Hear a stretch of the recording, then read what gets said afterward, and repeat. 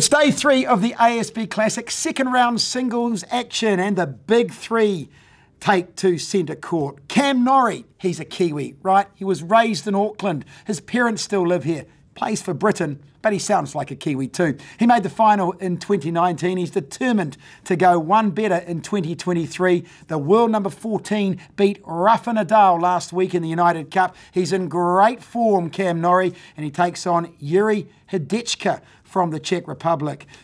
Norrie won Indian Wells, the unofficial fifth major. He was in the semis of Wimbledon last year. He's a big shot, a big chance for the title.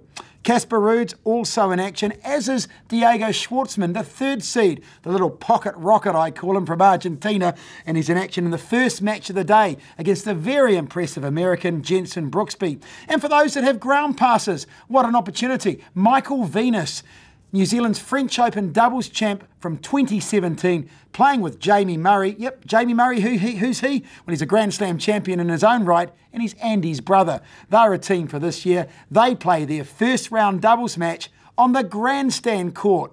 What an opportunity to see one of the best, or two of the best doubles players in the world in action. Day three at the ASB Classic.